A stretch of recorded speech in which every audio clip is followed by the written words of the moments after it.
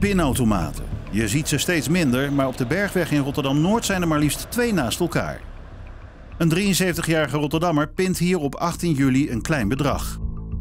En naast de pinautomaat waar hij stond is nog een pinautomaat. En daar stond ook een man en het leek alsof hij ook aan het pinnen was. Maar intussen blijkt achteraf dat deze man daar helemaal niet stond te pinnen, maar stiekem stond af te kijken bij het slachtoffer. Hij heeft dus gekeken wat is de pincode van deze man. Nou, toen het slachtoffer vervolgens weg was, merkte hij dat hij zijn pinpas miste. Die was dus gestolen. En toen hij ging bellen naar de bank, bleek dat nog geen zes minuten nadat hij zelf een tientje had gepind, er nog eens een keer 490 euro van zijn rekening is afgehaald. En dat gebeurt door deze man. De man die dus naast de 73-jarige Rotterdammer staat als hij aan het pinnen is. Hier is duidelijk te zien hoe hij meekijkt als de bejaarde man zijn pincode intoetst. Het lijkt zelfs alsof hij de ingetoetste nummers meemompelt.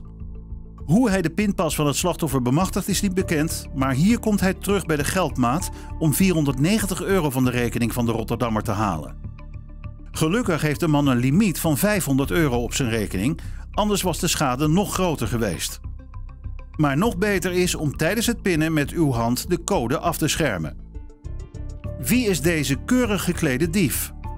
Laat het weten en bel 0800 6070 of meld misdaad anoniem 0800 7000. Een DM sturen via onze socials kan natuurlijk ook.